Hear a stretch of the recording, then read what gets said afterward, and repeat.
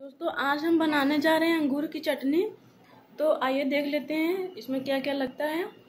तो हमने यहाँ पे अंगूर लिया है, इसे धुल लिया है और हरी धनिया लिया है, लाल मिर्च पाउडर, काला नमक, गरी, जीरा इसे भून लिया है और मूंग, मूंगफली के दाने लिए हैं, इसे भून लिए हैं। इन सब नारियल को हम कद्दूकस से कद्दूकस कर लेंगे और अंगूर, हरी धनिया, लाल मिर्च पाउडर और जीरा और नमक, इन सब सारी चीज़ों को अच्छी तरह से मिक्सर में पीस लेंगे और मूंगफली के दाने को अलग से पीस लेंगे। तो दोस्तों, यहाँ पे मैंने अंगूर और जीरा और धनिया की पत्ती को मिक्सर में पीस लिया और मूंगफली को भी।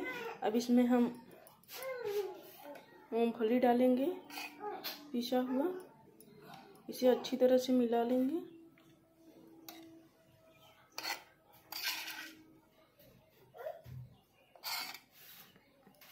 और इसमें नारियल जो हमने कद्दूकस कर लिया था, घिस लिया था, इसे मिला लेंगे। लाल मिर्च पाउडर मिला देंगे।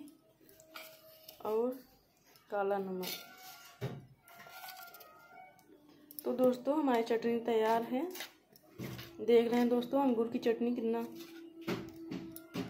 बेस्ट बना हुआ है, जो कि खाने में बहुत स्वादिष्ट आता है।